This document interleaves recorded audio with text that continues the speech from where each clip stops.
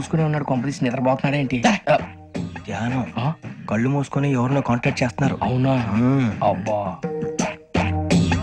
రామ్ ప్రసాద్ నీకు నిజం చెప్పాలంటే బాధగా ఉంది. కానీ చెప్పక తప్పదు. ఎందుకంటే అది నిజం కాబట్టి. కరెక్ట్ సార్ కరెక్ట్ ఏంటి సార్ అది? నీకు నలభై ఏళ్ళు వచ్చే వరకు కష్టాలు తప్పవు. గురుజీ! అవి మామూలు కష్టాలు కావు. అష్ట కష్టాలనే చెప్పాలి. ఉదాహరణకు అవి ఎలా ఉంటాయంటే దొరక్క దొరక్క నీకు ఫుడ్ దొరికితే. అది నీ నోటికందే లోగా.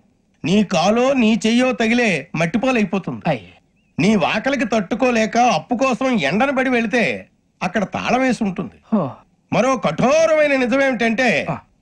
నీ దరిద్రాన్ని చూసి భరించలేక నీ భార్య లేచి వెళ్ళిపోతుంది. ఒక్కతేనా ఎవరితోనన్నా? ఆ, తప్పు. అతని దురదృష్టాన్ని చూసి ఎగతాళి చేయకు రమణ. Sorry sir. ఇదయ్యా రాంప్రసాద్. నువ్వు ఈ నలభై ఏళ్ళు ఈ నరకాన్ని అనుభవించక తప్పదు. నలభై ఏళ్ళ తర్వాత? అలవాటైపోతుంది.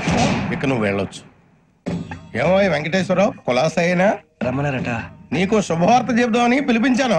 ఏంటి గురుజీ? నీకు శుక్ర మహాదశ ప్రారంభం అవబోతుంది. అంటే శనిగా సెట్ అయిపోయినట్టేనా? ఆల్మోస్ట్ అయిపోయినట్టే. మీరంతా టోపీలు పెట్టుకునే ఉద్యోగాలు కూడా చేసుకుంటారు.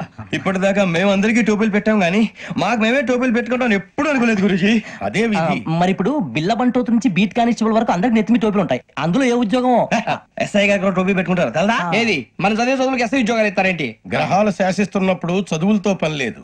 ఏబిసిడీలు చదివినా చాలు. మీ జీవితాలు విచిత్రమైన మలుపులు తిరుగుతాయి. మీకు విపరీతమైన ఫాలోయింగ్ వచ్చేస్తుంది. మీరు చాలా ఫేమస్ అయిపోతారు.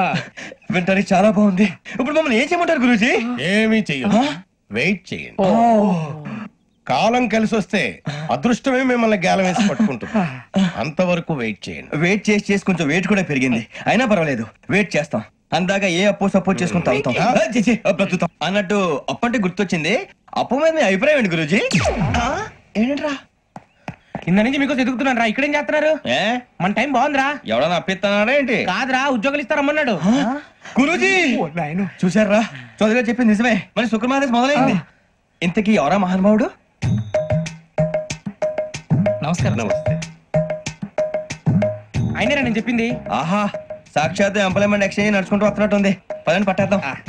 నమస్కారం సార్. నమస్తే. వీలే సార్ మా ఫ్రెండ్స్. నమస్కారం. నమస్తే, నేను చెప్పానుగా భగవాన్ గారు. ఆహా పేరులోనే దేవుడు ఉన్నాడు. లోపల కూడా. పాజిటివ్ థింకింగ్ ఎక్కువ.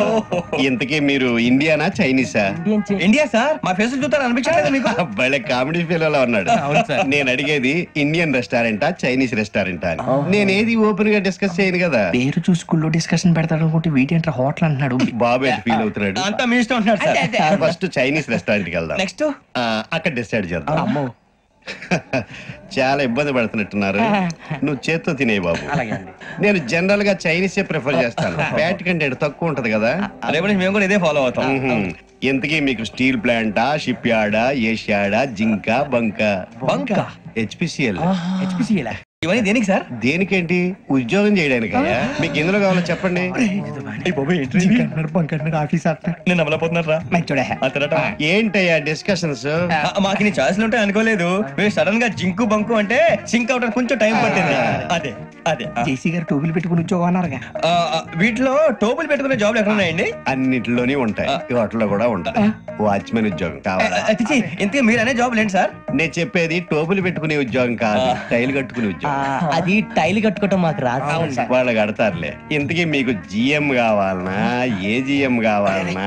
అట్లా పిలుస్తున్నాడు చూడు బాబు. జిఎం అడిగితే ఎలా ఉంటుందంట ఏజీఎం అంటే వెంటనే కొంచెం పెద్దదిగా ఉంది. ఏజీఎం ఇప్పించండి సార్. అనుకున్నాను నువ్వు ఇది అడుగుతావని జిఎం అంటే జనరల్ మేనేజర్ ఏజిఎం అంటే అసిస్టెంట్ జనరల్ మేనేజర్ తూచండి మాకు జిఎంఏ కావాలి సార్.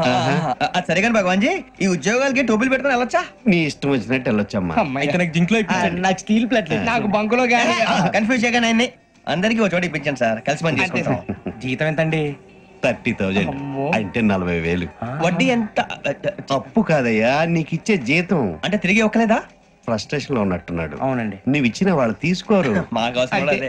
అంతేకాదు ప్రతి నెల గ్రాట్యుటీ పిఎఫ్ సిఎఫ్ బియ్యం కూడా సార్? ఏ నువ్వు యాక్ట్ చేస్తావా? భగవాన్ జీ మీరు ఇదంతా ఎందుకు చేస్తున్నారు? ఊరికే మాత్రం కాదు. ఆ. నేను మంచోడని చెప్పి నా కారు పెట్రోల్ లేకుండా వెళ్తుందా? వెళ్దాం. నేను ఇచ్చుకోవాల్సినవి ఉంటాయి కదా. ఇలా చూడు. ఆ. అందుకని ఉద్యోగానికి వాళ్ళ ఆకారం తీసుకుంటా. మా గెటబుల్ చూసి మీరు అపార్థం చేసుకుంటున్నారు. మాకంత పొజిషన్ లేదండి బాబు. పోనీ నలుగురు కలిసి ఉద్యోగం చేసుకోవచ్చా? మీ దరిద్రం నాకు అర్థమైంది. థ్యాంక్స్ మీ నలుగురు కలిసి ఓ లక్ష రూపాయలు ఇవ్వండి చాలు. నేను నమ్మనరా. డబ్బుల విషయంలో అసలు నమ్మను. నాన్నగారు మీరు అలా అంటాం భావ్యం కాదు. ఏదో జేసీ గారి సిఫార్సు వల్ల శని గారు సైడ్ అయ్యి శుక్రవారం దేశం మొదలైంది. ఉద్యోగం దానంతటి అదే వెతుకుంటూ వచ్చింది. అందుకని ఇంకేం కావాలో చెప్పండి. స్టీల్ ప్లాంట్లో జీఎం అని పెద్ద పోస్ట్ అమ్మా. జీతం ముప్పై వేలు. నెల నెల ప్రమోషన్లు. సిఎఫ్లు డిఎఫ్లు పిఎఫ్లు బిఎఫ్లు. ఇవన్నీ నువ్వు చదివిన చదువుకే? అబ్బాబే దీనికి చదువుకి సంబంధం లేదండి. చెప్పాను కదా శుక్ర మహాదశ అది దాని పవర్ అనుకోండి ఎఫెక్ట్ ఏహే, ఈ అనుకోండి రోజుల్లో కూడా గ్రహాలు గ్రహాలు ఏంటండి? వాడన్న ప్రతిదాన్ని ఇలా కొట్టి పడేస్తారు. చిన్నప్పటి నుంచి లక్షలకు లక్షలు పోస్ట్ చదివించారు. అమ్మా నువ్వు లేని పోనీ పెట్టుకో. లక్షలు ఎక్కడైనా? ఊరుకోరా మాట వరుస కదాలే ఒక పాతికి వేలిస్తే వాడి జీవితం సెటిల్ అయిపోతుంది అంటున్నాడు అంతగా ఆలోచిస్తారేంటండి? అమ్మా నాకు ఉద్యోగం రాగానే మీ అందరి స్టీల్ ప్లాంట్ షిఫ్ట్ చేస్తే ఓకే నువ్వు చెప్పేదంతా కరెక్టేనా? నాన్నగారు మీకు అంత అనుమానం అది ఇవ్వకండి. సర్లే ఇప్పటికిప్పుడు అంత డబ్బు అంటే కష్టం గానీ నా కెనటిక్ హోండా అమ్మాలి. నాకు తెలుసు మీరు ఆ నిర్ణయం తీసుకుంటారని. అందుకే పార్టీని పట్టుకొచ్చాను. బయట వెయిటింగ్.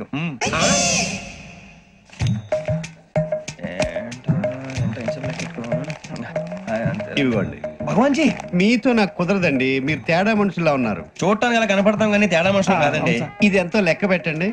ఐదు వేలు తగ్గిందండి. ఆ విషయం నాకు ముందు చెప్పాలి కదా. ఇది తేడాతనం కదా? సర్దుబాటు కాక జరిగిన పొరపాటు. మా దరిద్రం మీకు తెలియంది కాదు. మీ ప్రాబ్లమ్స్ నాకు అనవసరం అండి. ఇప్పటికే మీ మూలంగా మూడు లక్షలు బొక్క తెలుసా? మీరు ఫేస్ అంత చిరాగ్గా పెట్టకండి. రే ఆ గొలుసు ఎవరా? తొందరగా ఎవరా? ఆయన కోపం వస్తుంది. ఇదిగో తీసుకోండి తీసుకోండి. వద్దండి, తీసుకోండి, please. వద్దండి. భగవాన్ గారు తీసుకోండి సార్ ప్లీజ్ భగవాన్ గారు మీ కోపం తగ్గిందా? కోపం కాదు వెంకటేశ్వర గారు. ఎందుకో భరించలేను. అది నా బలహీనత. ఇవన్నీ వదిలేయండి. ఇంకోసారి పొరపాటు జరగదు. మేము ఎప్పుడు జాయిన్ అవ్వాలో చెప్పండి. కొత్త బట్టలు కొనుక్కోవాలి. మీరు ఆ పనిలో ఉండండి. పొద్దున్నే గుడికి వెళ్ళి నైన్ థర్టీ కల్లా మొన్న వచ్చారే? ఆ ఆఫీస్కి వచ్చేయండి. మీ అపాయింట్మెంట్ ఆర్డర్స్ రెడీగా ఉంటాయి. ఎయిట్ థర్టీకి వచ్చేస్తాం. మీరు వచ్చిన వాళ్ళ తలుపులు తీరు. మీ కంగారు నేను అర్థం చేసుకోగలను. ఇంతకాలం పని లేక స్తంభించిపోయిన మీ జీవితాలు ఇక నుంచి వేగం పుంజుకుంటాయి. ఆయన ఉన్నారా? ఎవరు? భగవాన్ గారు. మీరెవరు? ఆయన క్లోజ్ ఫ్రెండ్స్. సరే. లోపల రండి పదా సార్ వీళ్ళు భగవాన్ క్లోజ్ ఫ్రెండ్స్ అంటారు సరే నువ్వు వెళ్ళి నేను మాట్లాడతా. సార్. మీరంతా భగవాన్ స్నేహితులా? అవును. అలాంటి స్నేహితులు ఉన్నందుకు గర్వపడుతున్నాం. సరే.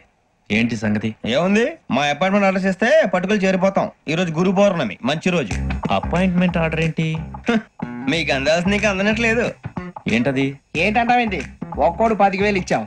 భగవాన్ గారి హెల్పింగ్ నేచర్ కాబట్టి తక్కువ రేటుకి ఒప్పుకున్నాడు. ఇంతకీ ఇది ఏ ఆఫీసో మీకు తెలుసా? తెలుసుకోవాల్సిన అవసరం మాకు లేదు. కానీ చెప్పాల్సిన అవసరం మాకుంది. యాంటీ కరప్షన్ బ్యూరో అంటే అవినీతి నిరోధక శాఖ. లంచం తీసుకోవటమే కాదు ఇవ్వటం కూడా నేరం. మీ భగవాన్ గడు ఒక ఫోర్ ట్వంటీ.